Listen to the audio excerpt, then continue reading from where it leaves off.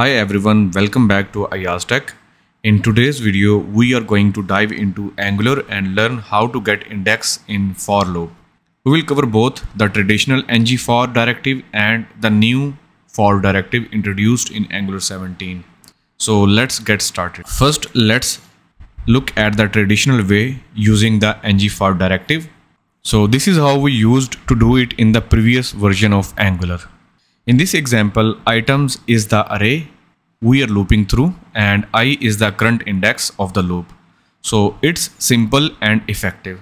Now let's see it in the action and use this method to display a list of items with their indexes. I'm using app.component to demonstrate that. So in the app.component.ts, I will add some items by using the array as it is going to contain the strings so now let's add some text in it. And now let's go back to the app.component.html and here I will add the ul tag. And within that we will add the li tag. And here I will add the ng for loop.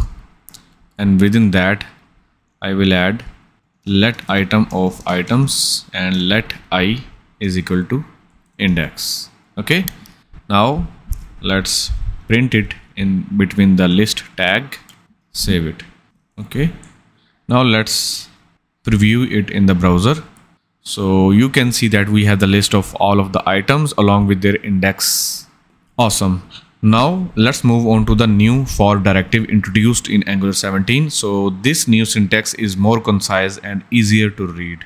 So go back to the app.component html and here I will get rid of all of this. And instead of that let's wrap this list tag between the for. And within that for I will type item of items semicolon track item semicolon and then let index is equal to index. Okay? Now you can use that index variable here between the list tag save it. Okay you can see that it is still working. With this new directive the index is a special variable that holds the current index of the iteration. It starts from the zero just like with the ngFor directive. And that's it. You have now seen how to get the index in a for loop using both the traditional ngFor directive and the new for directive in angular 17 I hope you found this tutorial helpful. If you did, please give it a thumbs up and consider subscribing to Tech for more tutorials like this. If you have any questions, leave them in the comments below. Thanks for watching and I will see you in the next video.